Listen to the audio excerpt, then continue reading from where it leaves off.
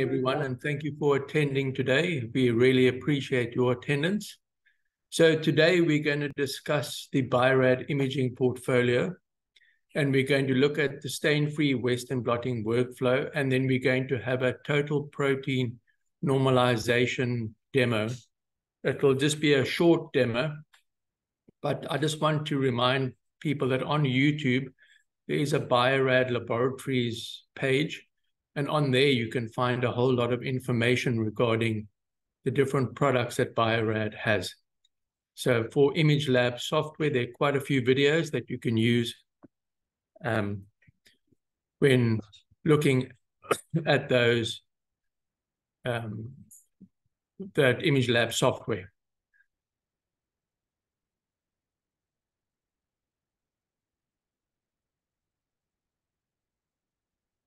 So today we're going to look at a, a quick introduction. Then we're going to look at the stain-free Western blot workflow. Then we'll look at normalization. And then we'll do a little bit on total protein normalization. Then we'll discuss reagents for stain-free, some marketing collateral, so our Bio-Rad Academy that you can make use of, what to do with your extra time, and then possibly a summary but we don't have to do the summary as you will have most of the information beforehand already. So today we will show you how you can spend five to six hours less performing Western blot experiments. So introduction, Western blotting workflow. I'm sure you are all familiar with um, resolving proteins on an acrylamide gel. Then you transfer the proteins to a membrane which can be nitrocellulose PVDF or low fluorescence PVDF. And low fluorescence PVDF is recommended for stain-free Western blotting. And then you do your immunodetection to detect your target of interest. So Bio-Rad uh, has a Western blotting workflow. We provide products for sample preparation, electrophoresis, so your fast cast gels, which are very quick to polymerize, your TGX, tris glycine extended shelf life, precast gels, there's some stains, but you won't have to use stains if you're going to go the total protein normalization route. And then transfer, obviously nitrocellulose transfer, PVDF and low fluorescence PVDF membranes and buffers and paper.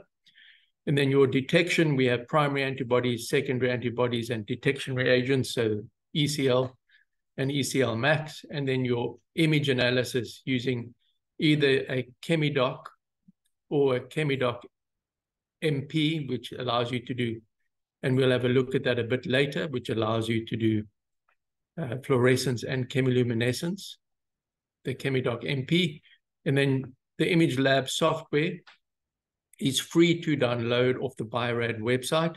All you need to do is log in and register on the website, and then you will be able to download the Image Lab software. So adoption of Western blotting over the last 40 years. Um, Western blot is a consistent and steady uh, technique at around 8 or 9% over the last 30 years.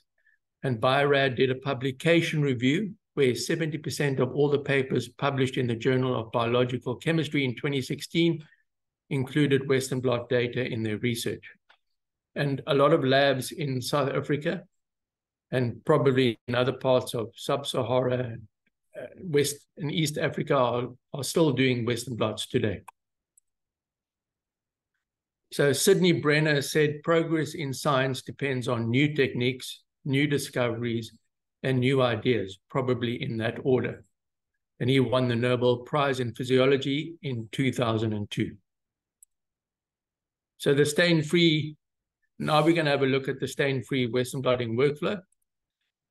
So the traditional workflow is often you have to prepare your gels, and then you have to run them. It can take over an hour. Um, you then do your electrophoresis, which can take an hour to run, transfer, depending one one hour or two hours, antibody incubation, five hours, imaging analysis. And then if you're using housekeeping proteins, you have to strip and reprobe. Often reprobing um, is, an, is an additional step and can take another five hours or so.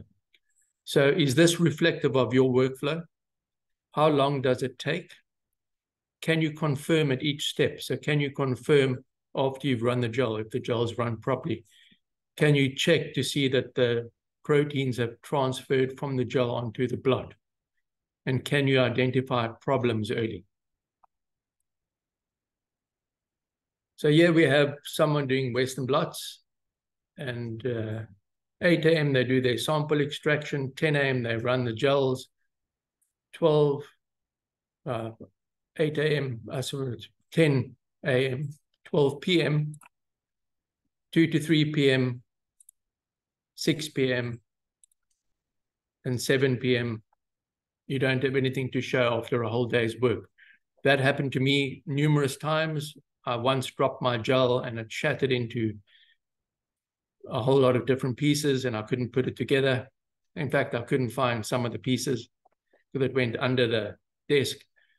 And um, I often had, not all the time, but I did get Westerns to work. But some of the times it was uh, a little bit um, annoying at the end of the day after you put so much work in. So stain-free Western blotting workflow. So we have power packs and different types of power packs. We have the mini protean, protean system and the criterion system for bigger gels. Next to that is the Transblot Turbo, which allows you to do very fast transfers. But it only allows you to do fast transfers if you're using precast gels, TGX, tris glycine extended precast gels, or if you are using a fast cast kit from Bio-Rad. And then lastly, we've got the ChemiDoc Imager or the ChemiDoc MP. ChemiDoc MP allows fluorescence and chemiluminescence, whereas the ChemiDoc just does fluorescence. So the Bio-Rad V3 workflow or the stain-free workflow, you do electrophoresis, uh, possibly using a tris glycine extended stain-free gel, Criterion Cell ChemiDoc MP imaging system, and you can run those gels in 20 to 30 minutes. Then you can have a look at the gel to make sure that it's run properly. Then you do your transfer. Transblot Turbo transfer system and the ChemiDoc MP imaging system, which can take three to 10 minutes. But just uh, a caution word is if you are, if you took the image of the gel post pre-transfer and you visualized it for one second, you need to use the same one second for imaging the gel post-transfer. And then you do your antibody incubations, Clarity, Western ECL substrate, and maybe primary and secondary antibodies from Bio-Rad. And then you get your stain-free blot image. And then you can do your imaging and analysis, ChemiDoc MP imaging system, uh, 10 to 15 minutes. So the total time it's taken you is about six hours. And you can view your chemiluminescent image, or you can use target proteins with fluorescence. So how does the stain-free technology work? Well, there's a molecule in this um, TGX stain-free gels or the fast cast stain-free option called trichloroethanol. And under UV radiation, it enables the reaction within a gel. So that trichloroethanol under UV radiation binds to tryptophan residues and adds a 58 Dalton moiety to the residue it doesn't have any impact on transferring the proteins to the gel or to the membrane or in running the, the protein gels. And it is fluorescent.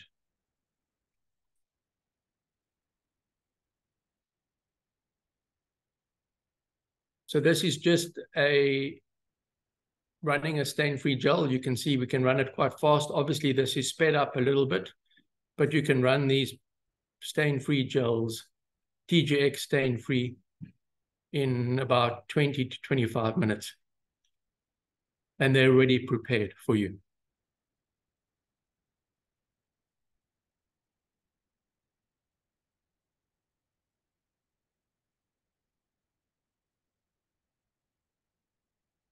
Then you do your gel activation.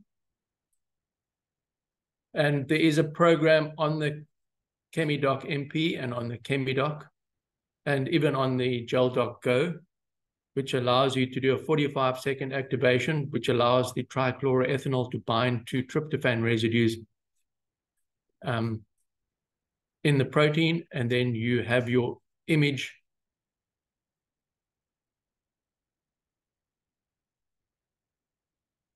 So the stain-free image of the gel pre-transfer, the trihalo compound is activated in the gel and is covalently bound to tryptophan residues. Post-transfer, a mirror image of the total protein is present on the blot.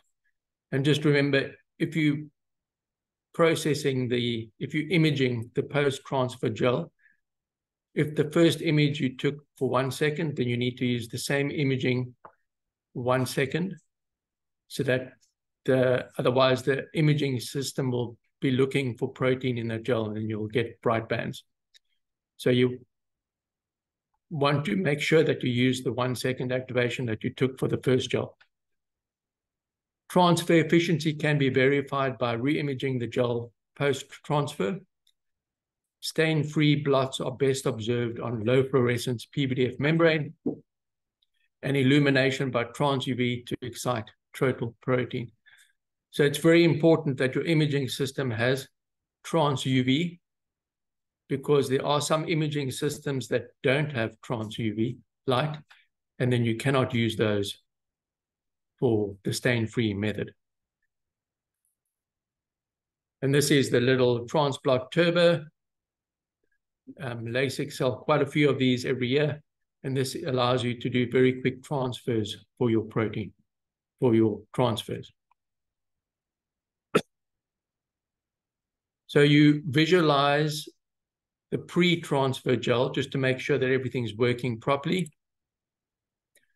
Then you can image the post-transfer gel to verify that all your proteins have migrated to the blot. You verify that by taking an image of the blot and lastly, you validate by using the chemi image of your target protein to detect your, ta your target of interest on the blot. So now we'll just have a look at normalization. So if we have a look at the first example, distribution of automobile accidents, you can see a lot of automobile accidents actually happen quite close to home. And why is that? Familiarity theory.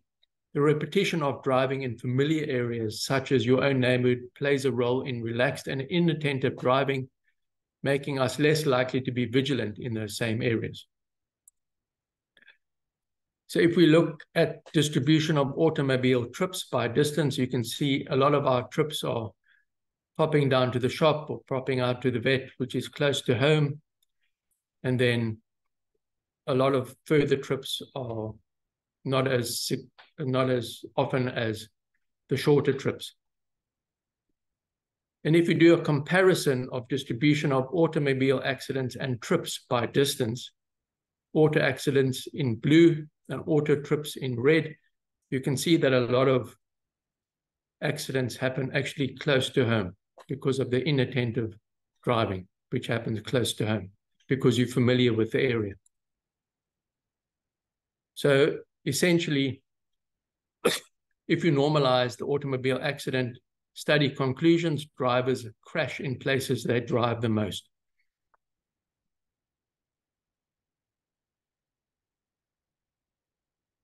So who jumps higher, the grasshopper or the, this is a Colombian athlete, a high jumper.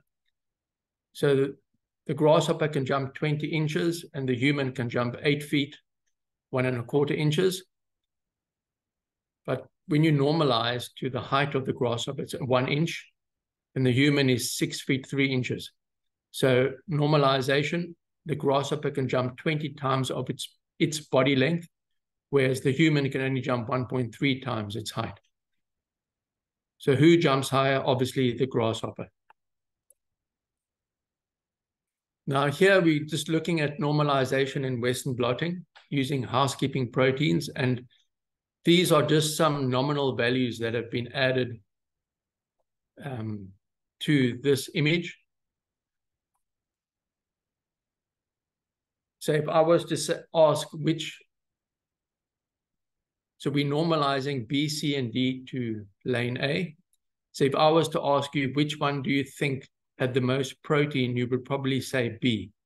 But that could have been because the extraction procedure you did on the samples was just work better. Or you may have loaded slightly more protein in that example. So now we can say, okay, in lane A, we've got target three, housekeeping protein at three, normalized at three. And if we look at which lane has the most protein compared to the housekeeping loading control, it's actually D. Because you take 2 divided by 3 divided by 2 times 3 to give you 4.5. 1 divided by 3 is 0.33 times 3 is 1. So that's using housekeeping proteins. And then we do again, this is normalization in Western blotting using total protein normalization. So we're comparing the total protein in the stain-free blot with the target protein in ImageLab software. And here you can see stain-free total protein loading control. So that's the, um, on the blot, total protein that is run. and again, you can see that D actually contains most of the protein. So now we're going to look at loading controls, housekeeping proteins versus total protein normalization. So in the traditional workflow, if you're using housekeeping proteins, when you get to the end, you actually have to strip and reprobe so that you can target your housekeeping proteins. But with total protein normalization, you don't need to do that. You run your gel, you take an image, you do the transfer, you take an image of the post-transfer gel, and then you take an image of your stain-free blot. And then you can use your do your immunodetection, which can take uh, a little while to do. But you're stripping and reprobing for housekeeping proteins, strip and reprobe for housekeeping with chemiluminescence, loss of protein every time you strip. Some antibodies are hard to strip completely. An alternative is to run two blots, which adds further complexity. So you can see on D on the right, there was no stripping of the antibody, antitubulin, and the lanes there are a little bit darker than the lanes which were stripped in C. So this is also looking at transparency. So a lot of journals do have algorithms which they use to look at imaging, images, especially of Western blot data. And here you can see um, some papers had duplications, stretches, exposure adjustments, or flips all visible in figure three of this paper. So images were used previously and then reused later on. And then at the bottom here, you can see a lane re reassortment in this paper published the year after. And here you can see in 2006, SSI, SI, SCR, and SI flip. 2006, that same image was used in 2009. And lastly, some people was, were seen doing splicing and pasting images from previous run results into later publications.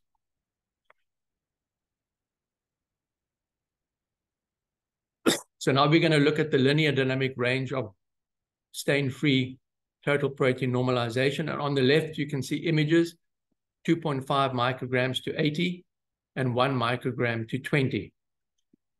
So the linear dynamic range is the signal intensity on a blot proportionally increases with the increase in protein load. Stain-free gels provide a wide linear dynamic range. And you can see on the left, as the protein concentration is increasing, it is increasing linear, linearly. Sorry for that. I think I killed that uh, linearly.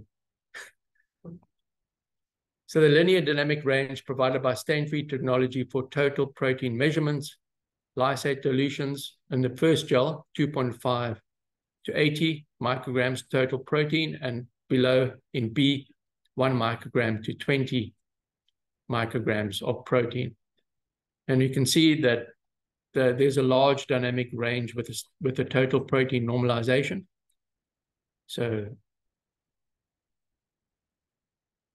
So you get you need to be able to get uh, linear linear linearity with your gels as you increase this, the protein load. So here you can see stain-free technology eliminates signal normalization issues for accurate protein quantification. No proportional increase in signal generated for housekeeping proteins. Why? Because housekeeping proteins are often expressed at a high level. So the total density for each lane is measured from the stain-free blot and a lane profile is obtained. So if you have a look here, stain-free blot image, it's going up nicely linearly. And these ones here, for the beta-actin, the beta-tubulin, and the GAPDH, you can often saturate out your images, and so they're not linearly expressed. So here we're looking at housekeeping proteins, differential expression, housekeeping changes in pathological tissues. So we've got wild type mice and spinal muscular atrophy mice. And what you should see is that the is that the uh, actin and tubulin should be around should be the same in the wild type and this and the spinal muscular atrophy mice. But here you can see actins dropped 20% and tubulin has dropped 7.5%. So the housekeeping genes are not behaving like housekeeping proteins in the wild type and the diseased mice. Housekeeping protein differential expression across different tissues. So here you can have a look at beta-actin variability across different tissue types. And you can see here, total protein is in red. Obviously, there was some different um, extraction procedures done on the different tissues, but total protein is staying very similarly, and but actin is changing quite a lot in the different tissues. And here we have housekeeping protein differential expression. So there's um, sciatic nerve in a mouse and actin and NFL expression differences in proximal or distal sciatic nerve regions in SMA mice. And then the first one, you can see the total protein stays the same, but actin has decreased just by looking at the proximal or distal areas. And NFL has, so the total protein stays the same, but NFL has changed drastically between proximal and distal as well. So you have to be very careful using housekeeping proteins for differential expression. So here is a journal of clinical investigation. An inauspicious start in 2009. Unfortunately, this issue may seem a little thinner than others. We've recently published as four, four articles that were previously accepted and scheduled for publication in this issue will not appear. We continue to screen all figures from accepted manuscripts, and we continue to find irregularities. In several cases, the alterations in the figures led to the discovery of some fundamental problems with the data. They've gone further to say it is typically better to normalize Western blots using total protein loading as the denominator.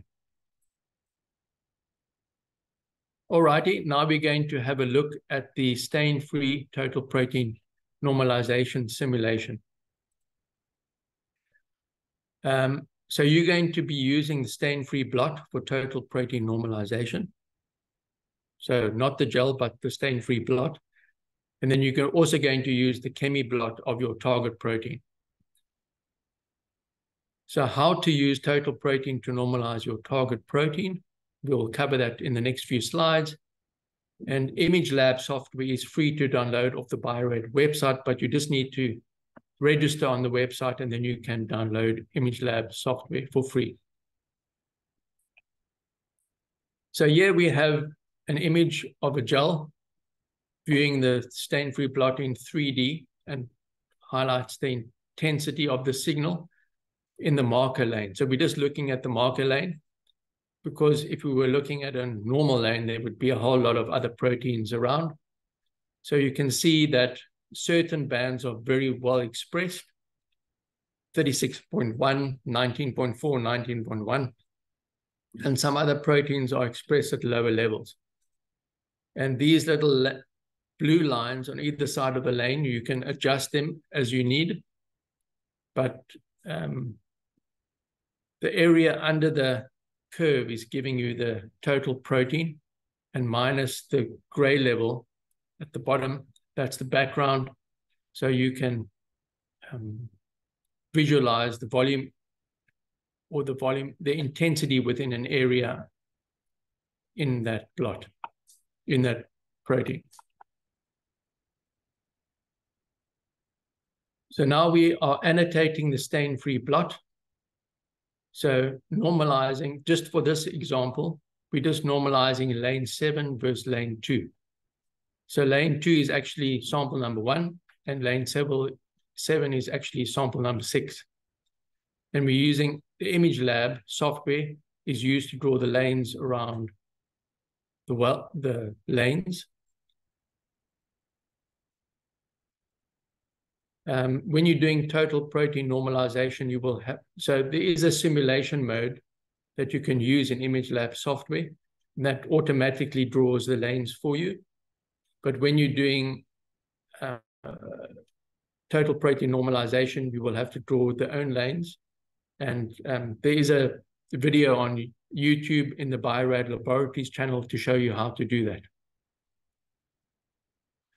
So now we're calculating the normalization factor. So we're looking in lane two.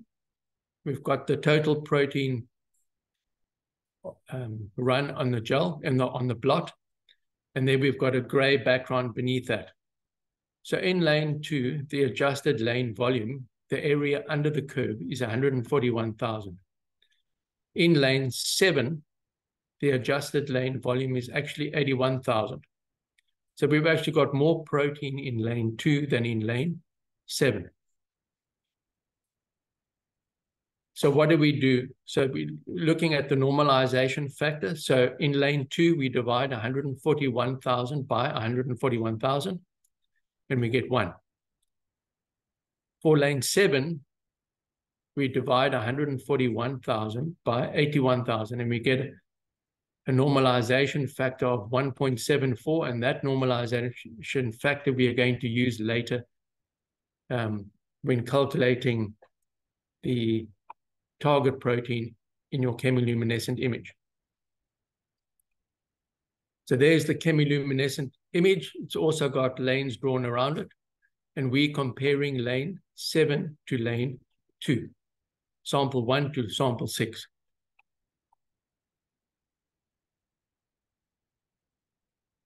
So here you can see, um, I'll just go back. So we're looking at the target protein now in lane seven and lane two. So you can see the adjusted lane volume for the area under the curve minus background is 21.9 thousand. And in lane seven, adjusted band volume is 22.9. So they're very similar in size. But we, what we need to do is now use the normalized volume. So we times one times times one is equal to 29, 21.9 thousand in lane two. And in lane seven, we've got the 1.17, 1.74 normalized volume.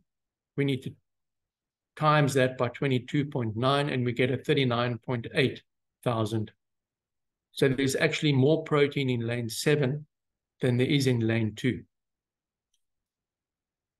So you can actually export your data to Excel and you can draw graphs if you're doing a presentation or for publication purposes.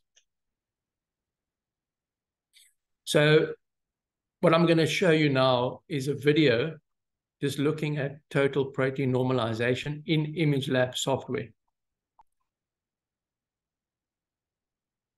Okay, so we go to File, we click New Single Channel, Blots, Stain-Free Blot. So we select that. There's our stain-free blot. Then we go to File again, New Single Channel Protocol. We hit on Select, we go to Blots, the Chemi blot we're going to use. So now we've got these two images. And now we need to merge them. So we go to File, Create Multi-Channel Image, and we select Stain-Free Blot and the Western blot in the other one. And now you get three gels. And if you click on RGB, you will be able to just see the two gels. To make them a little bit bigger.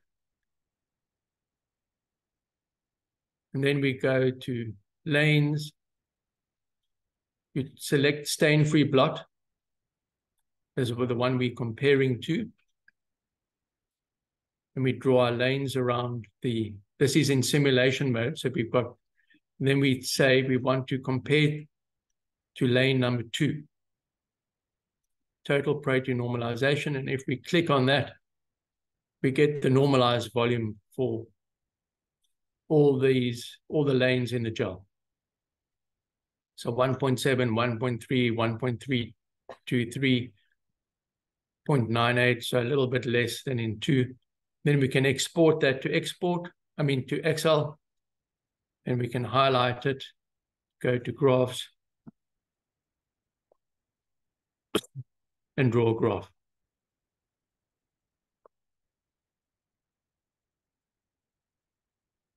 And then you can export that into a presentation or into a, an article that you're writing.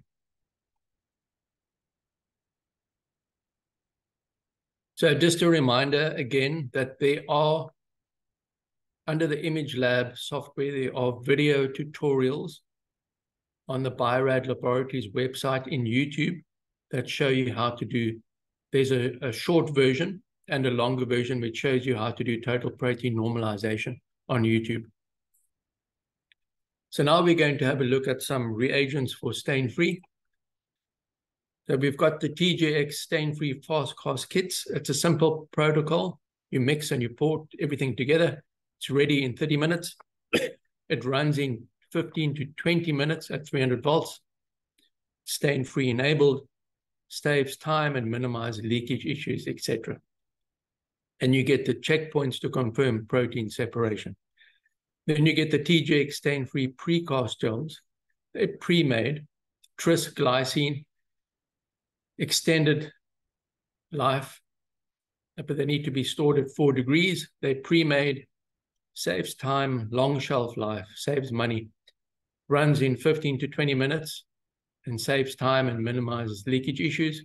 And they're also stain-free enabled. Then there's a whole lot of Mini-PROTEAN TGX precast gels and Mini-PROTEAN TGX stain-free precast gels. So you can buy the option which is non-stain-free. and you get 10 well, 10 well, 50 microliters, 30 microliters, 12 well, 20 microliters, 15 microliter wells, 15 microliters, etc. And then there is a guide on the website which shows you. So if you're looking at the 6.5, um, it would be better to use the 4 to 20% or the 8 to 16% if you're looking at a small protein. The Transblot Turbo, as you can see, it has two channels. You can run four mini or two midi gels per run. Transfer in three to 10 minutes. Efficient transfer efficiencies over a broad molecular weight range.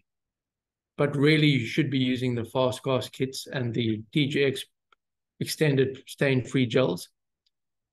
Um, saves time and increases throughput and high transfer efficiency and able to confirm the presence of air bubbles. Transblot Turbo transfer packs. It's already pre-assembled for you. Nitrocellulose or PVDF and flexibility and ability to reduce background. Ready to assemble kits.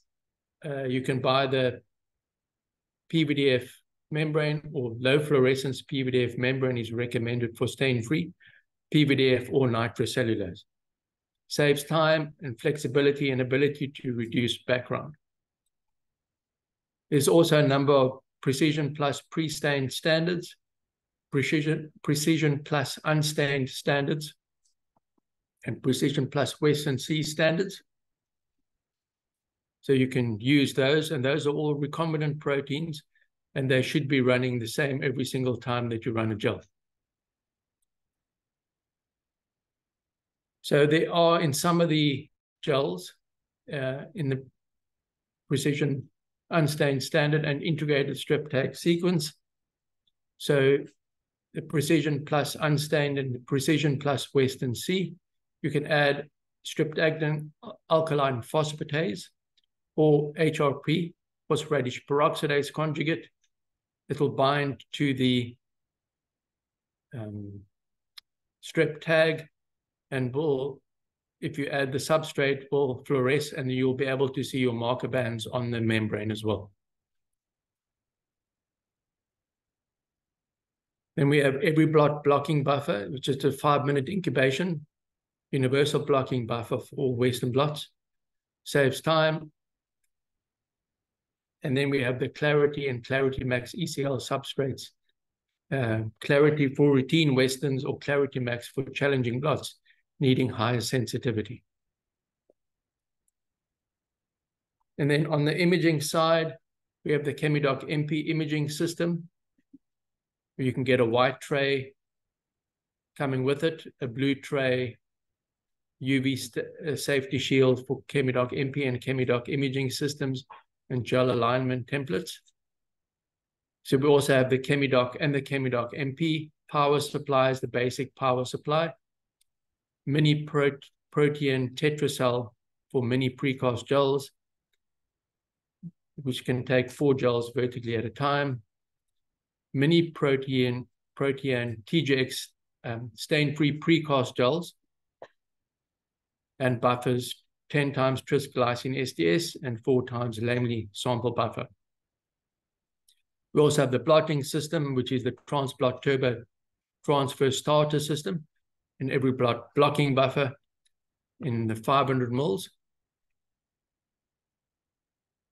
And then protein standards, all blue standards, unstained standards, Western C pack as well. And then the Clarity Western ECL substrate as well. So if you look at the stain-free ecosystem, Bio-Rad supplies a whole lot of consumables for Western blotting. It supplies the imaging systems, the ChemiDoc and the ChemiDoc MP, and it also allows you to download the Image Lab software straight from the Bio-Rad website. All you need to do is just register on the website. So this is just the family of Bio-Rad imaging systems. The ChemiDoc, ChemiDoc XRS Plus has been discontinued. So I just left it in just to say that it's been discontinued. Um, the gel doc Go doesn't have any chemiluminescence or fluorescence detection, but it can be used in a molecular lab to take images of gels. It can also be used to take images of proteins. So if you're doing TMB or 4CN substrates, which produce a precipitate on the blot, then you can use that to image your blots as well. And they're all stain-free enabled. So the GelDoc Go doesn't have chemiluminescence function at the moment. Uh, the ChemiDoc does do chemiluminescence and the ChemiDoc MP for fluorescence and chemiluminescence detection. And then just having a look at the ChemiDoc MP. So it's providing the sensitivity of film without the hassles of film processing or darkroom chemicals. I used to do darkroom chemicals back in the day, but that gives my age away, so I won't say when I did that. You don't get confused, uh, don't get confused by specs, get impressed by, by the performance. Our expert sales team Lasec is happy to demo the ChemiDoc MP on site. You can upgrade the ChemiDoc system to the ChemiDoc MP and expand the detection capabilities from chemiluminescence to multi, uh, multifluorescence. There are nine different light sources contained within with seven emission filters, providing best flexibility for current and future applications. You can build from scratch based on over 25 years of expertise in the field of Western blotting from Bio-Rad. And the ChemiDoc MP is part of our stain-free Western blot workflow, providing the most accurate Western blot data in less time. so stain-free enabled, check your Western work blot workflow easily and validate your results correctly. Flexibility, no limitations on current and future applications, superior performance, get trustful data with no compromise on sensitivity and data quality, ease of use, spend your time on interpreting results rather than image acquisition and analysis, and Western blot expertise. We are here to support you in getting the most out of your precious samples. So marketing collateral. So Bio-Rad does have a Western Blot University, and I can share this slide with Lasec so they can pass it on to you. So the Western Blot University is enables you to go and do a number of courses that are about 40 minutes each. There is a troubleshooting um, link as well. On YouTube, under, under the Bio-Rad Laboratories Corporation, there are two videos for total protein normalization. The one is about three minutes, and the other one is about nine minutes, I think. And then lastly, we have the Bio-Rad Academy. So if you go to https semicolon um, colon academy.biorad.com, they will find a whole lot of videos going through encompassing Western blot gene expression, digital PCR, bioplex immunoassays, and flow cytometry. So that's a really good resource, and it's um, free to, to use as well.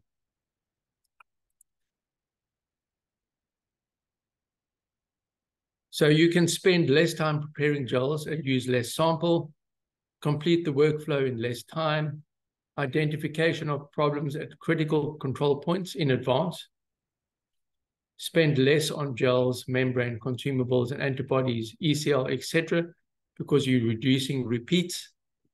Most expensive uh, experiment in science is a repeat. You can get highly sensitive fluorescent gel and membrane images with low background without using any stain and staining, and you can produce less waste. You spend less and get and publish the best. So you see a stain-free blot from step four, from normalization, total protein detection with fluorescence, or you can continue to use chemiluminescence for total protein detection. And this is just showing you if you use a tris glycine extended stain-free precast gel, it'll take you about three and a half hours to do Western blot. TGX stain-free fast cast kit will take about four hours, and the handmade gel is taking about 11 hours.